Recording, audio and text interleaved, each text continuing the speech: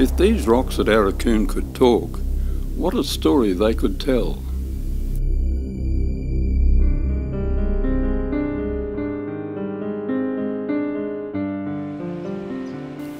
The rocks along the breakwall at Nambucca Heads tell a different story. Stroll along the walkway and these huge boulders have become a showpiece for visitors to display their messages, their memories and their observations. However, just to the south at Arakoon is a headland called Laggers Point, where over a century ago another breakwall was attempted but never completed. The outcome of that project could be seen as a history of blunders.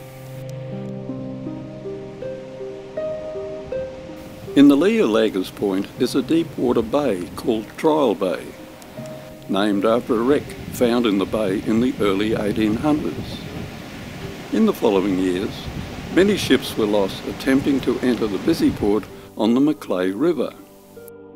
A decision was made to build a 1500 metre long breakwall at Laggers Point to make the bay a harbour of refuge during bad weather for any ships sailing up and down the east coast. The question was, how was it going to be built? There had to be a big workforce. So in 1877, many convicts from other areas were moved to Trial Bay, firstly to build a maximum security prison.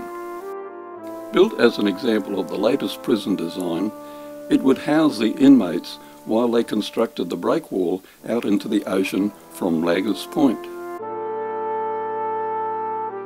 As you would expect, there were many problems. The local stone was extremely hard and there were few stonemasons among the convict workers. They had limited equipment with only steam-powered drills and horse-powered cranes. Even after nine years of hard labour, Trial Bay Jail was still only partially completed. The building of that breakwall was another story. Extracting and transporting the boulders to the breakwall site was extremely difficult and costly. Many times heavy storms would break down their work as soon as it was built. In 1899, the authorities made another bad decision to extend the jail, in the belief that the work on the wall would continue with the need for a larger workforce. However, by 1903, with less than a third of the wall completed, the whole costly project was abandoned. By this time, ships were rarely calling at Macleay River, the Smoky Cape Lighthouse was built, saving the shipping disasters of the past, and the need for a safe harbour had diminished. Today, the remains of the wall can still be seen below the jail. It's more than 125 years since the construction work on the jail began. Observing these walls after that length of time it is hard to imagine the stone masonry skills, the workmanship and engineering knowledge needed to construct these massive walls. Most of the convicts would have been untrained labourers. It took a long time, but was a remarkable achievement. In hindsight, you have to wonder at the bureaucratic decisions that were taken and the blunders made during the life of the whole project.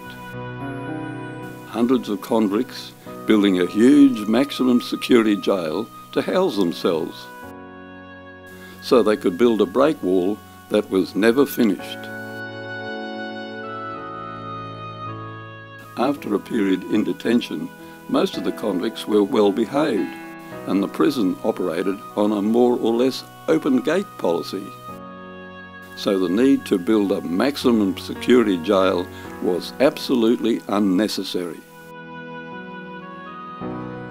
Eventually the jail was closed in the early 1900s and remained empty until the First World War, when for a short time German prisoners and residents, the so-called enemy aliens, were interned there. In 1922, the last inmate left the prison.